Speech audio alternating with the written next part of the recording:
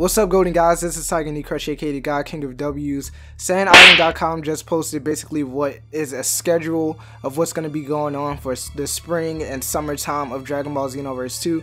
Um, I, have I've always complained that I always miss like a raid event or like a tournament, and like there needs to be some sort of schedule, like some sort of announcement before these things come out, so I can make the videos for you guys.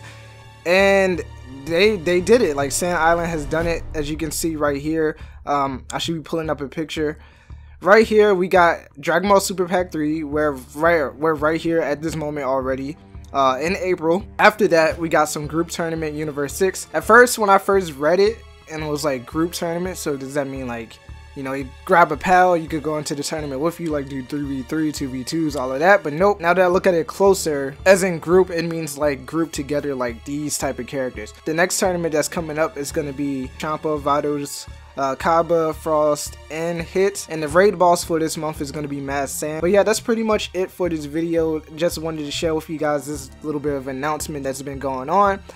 Finally, I have some sort of schedule so I can expect what to do during these months. Again, I wish like the dates were like certain, like oh, this raid comes out on the 15th, this raid comes out on the 17th, this raid comes out Friday, Saturday, something like that. But unfortunately, we do not have that.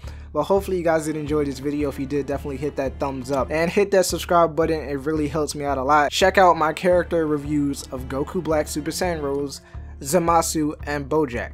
They are all fucking dope. But I'm not to hold you too much. Hopefully you enjoy Like I said, hit that thumbs up and subscribe.